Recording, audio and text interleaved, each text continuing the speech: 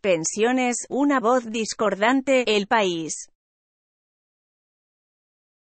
Este periódico ha recogido con amplitud las recientes manifestaciones de jubilados, y ha hecho un seguimiento de tan crucial asunto en entrevistas con expertos, columnas de opinión y editoriales.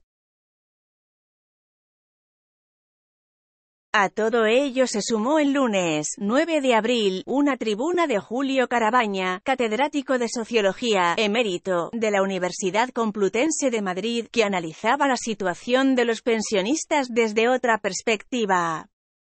El profesor Carabaña sostenía en él, basándose en estadísticas de la Oficina Europea de Estadística, Eurostat, que los jubilados han quedado al margen de la crisis y deberían esperar un tiempo, antes de reclamar los beneficios por el crecimiento actual ya que el poder adquisitivo medio de los jubilados es similar al de los activos, se argumentaba, razón por la cual no hay motivos para llenar las grandes avenidas reclamando más.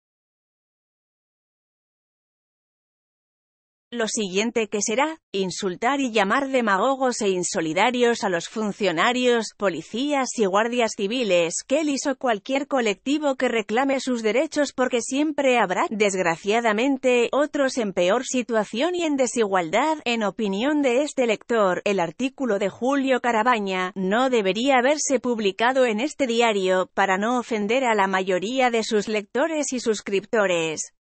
La lectura del artículo en cuestión impulsó a otro lector, Dionisio Rodríguez Castro, a escribir una larga carta y hasta un esbozo de tribuna para rebatir los argumentos del profesor Carabaña.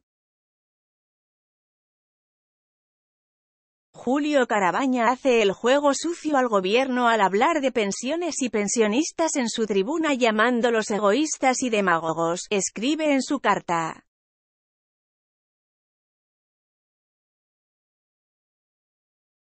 Este lector recuerda que las movilizaciones de pensionistas solo se hacen para evitar que se resienta su poder adquisitivo.